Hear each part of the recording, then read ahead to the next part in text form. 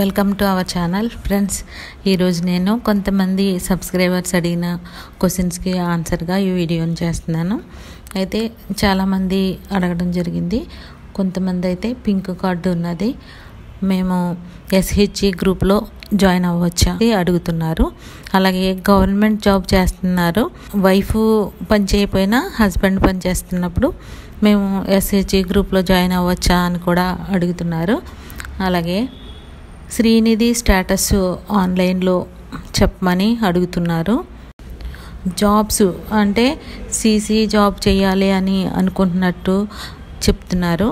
అయితే దీన్ని ఎలా వీటి స్టేటస్ కూడా చెప్పమంటున్నారు. ఆన్లైన్లోనే చేసుకోవాలనే ఉద్దేశంతో అడగటం జరుగుతుంది ఫ్రెండ్స్. అయితే ఇది ఆన్లైన్లో మీకు కొన్ని అయితే డిస్ప్లే అవ్వవు.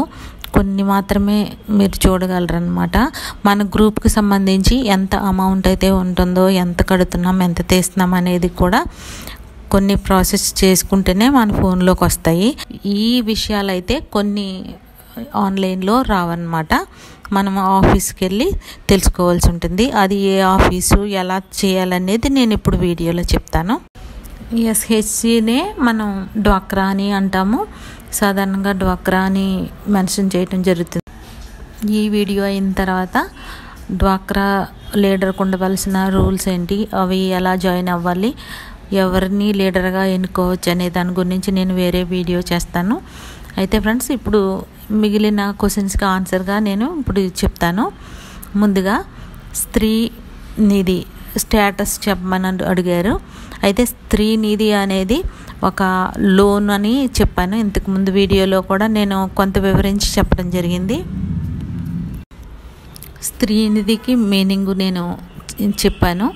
ఏంటంటే స్త్రీలు పొదుపుల ద్వారా కట్టిన అమౌంట్ని అయితే బ్యాంక్ వాళ్ళు ఆ బ్యాంకులో మనం ఎప్పుడైతే వేస్తాము. వేసిన తర్వాత వాటి గ్రామ సమైక్యలు అని చెప్పాను. ఆ సమైక్యల్లోకి వెళ్తాయి అన్నమాట అవి డ్వాక్రా గ్రూప్ వాళ్ళకి సంబంధించి గ్రామ సమైక్యలు ఉంటాయి. ఆ సమైక్యల్లోనే ఈ అమౌంట్ అయితే ఉంటుంది.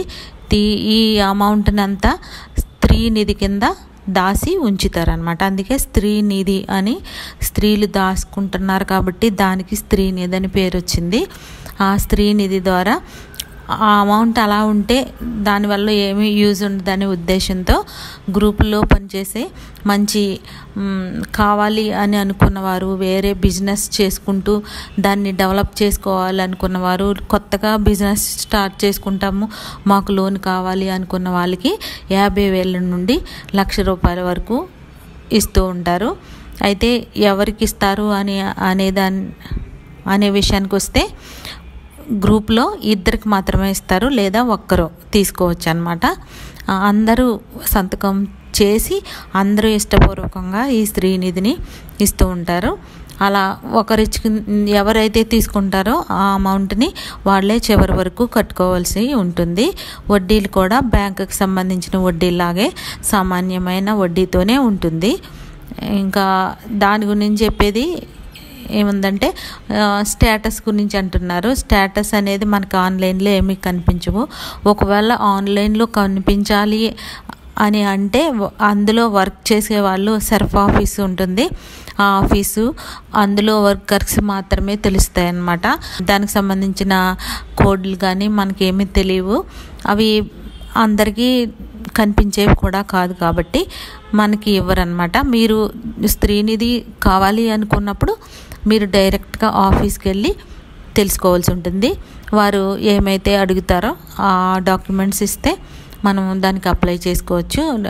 ఇంకా డాక్యుమెంట్స్ అంటే ఏముంటాయి? ఆధార్ కార్డు రేషన్ కార్డు అలాగే బ్యాంక్ అకౌంట్ నంబరు ఫో ఫొటోస్ అడుగుతారు. అవి మీరు డైరెక్ట్గా ఆఫీస్ అంటే సెర్ఫ్ ఆఫీస్కి వెళ్ళి డ్వాక్రా ఆఫీస్ అంటాం దాన్నే. ఆ ఆఫీస్లో మీరు అప్లై చేసుకోవాల్సి ఉంటుంది.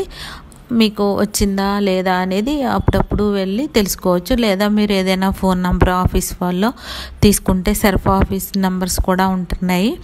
కానీ అవి సరిగ్గా వర్క్ చేయట్లేదని చెప్తున్నారు. మనం ఎన్నిసార్లు ట్రై చేసినా ఎప్పుడో ఒకసారి తగులుతుంది తప్ప ఎక్కువ టైమ్స్ వర్క్ చేయవన్నమాట అయితే మనం డైరెక్ట్గా వెళ్ళి చేసుకోవాల్సిన అవసరం అయితే ఉంటుంది. ఇక పింక్ కార్డు ఉన్న వాళ్ళు డ్వాక్రా గ్రూప్లో జాయిన్ అవ్వచ్చా అని అడుగుతున్నారు. జాయిన్ అవ్వచ్చండి. దాచుకున్న దానికి మనం లోన్లా తీసుకొని కట్టుకుంటూ వస్తున్నాము. ఇంతవరకు ఇంతకుముందు అయితే పావలా వడ్డీతో కొంత వెనక్కి కట్టవలసి ఉండేది. అసలు కాకుండా అసలు మనం కట్టవలసే ఉంటుంది. అసలు కాకుండా వడ్డీని కూడా కొద్దిగా కట్టేవాళ్ళు. ఇప్పుడైతే సీఎం జగన్మోహన్ రెడ్డి వచ్చిన తర్వాత ఆయన జీరో వడ్డీలుగా మీరు లోన్ మాత్రం తీసుకుంటే తిరిగి కడితే చాలు. వడ్డీని నేను కడతానని గవర్నమెంట్ కడుతుందన్నమాట. అవి గవర్నమెంట్ కూడా రెండు వాయిదాల కింద సంవత్సరంలో ఒక రెండు వాయిదాలకు చొప్పున కడుతూ వస్తున్నారు. ఆరు నెలలకి ఒకసారి కట్ కడుతున్నారు. ఫస్ట్ టైం కట్టడం జరిగింది సెకండ్ టైం కూడా కడతారని చెప్తున్నారు. అయితే వడ్డీ గురించి ఇబ్బంది ఏమీ ఉండదు. ఇంకా మనం అసలు మాత్రమే కట్టుకోవాల్సి ఉంటుంది. అది రెగ్యులర్గా కట్టుకుంటూ ఉంటే మనకి కొన్ని బెనిఫిట్స్ ఉంటాయన్నమాట. అయితే పింక్ కార్డు ఉన్న వారికి ఆ బెనిఫిట్స్ కొన్ని రావు.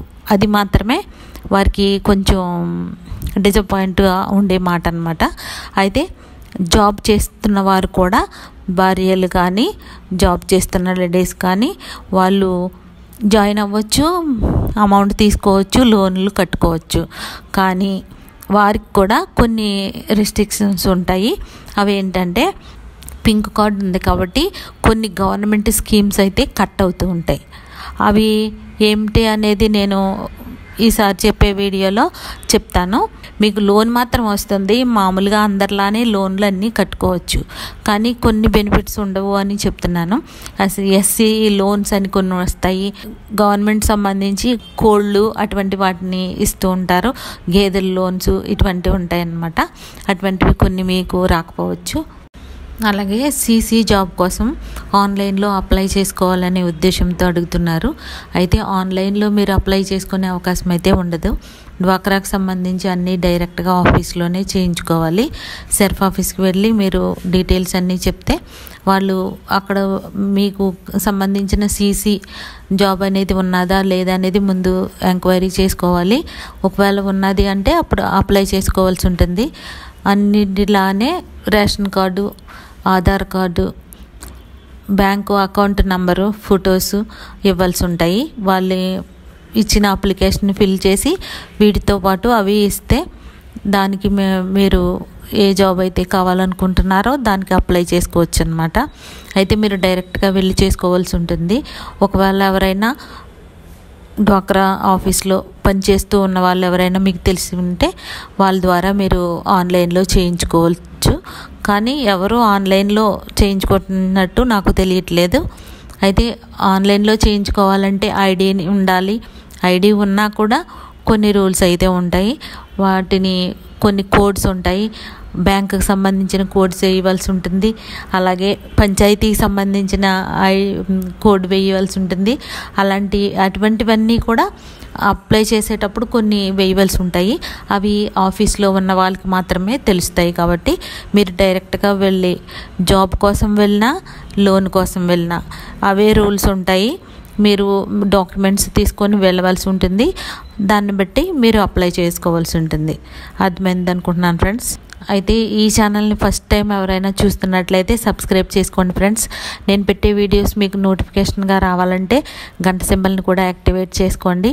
నేను పెట్టే డ్వాక్రాకు సంబంధించిన ఏ ఇన్ఫర్మేషన్ వచ్చినా కూడా ఆన్లైన్లో వచ్చినా మామూలుగా వచ్చిన నేను ఈ ఈ డ్వాక్రా గురించి మెయిన్గా చెప్తూ ఉంటాను. దానికి సంబంధించిన జాబ్స్ ఏమున్నాయి? లేదా లోన్స్ ఏమి వస్తున్నాయి ఏమి ఇస్తున్నారు అనే దాని గురించి ఎప్పటికప్పుడు నేను వీడియో చేసి పెడుతూ ఉంటాను. దీన్ని చూసేవాళ్ళు తప్పనిసరిగా మీ ఫ్రెండ్స్కి షేర్ చేయండి. అలాగే లైక్ చేయండి ఫ్రెండ్స్. Thank you.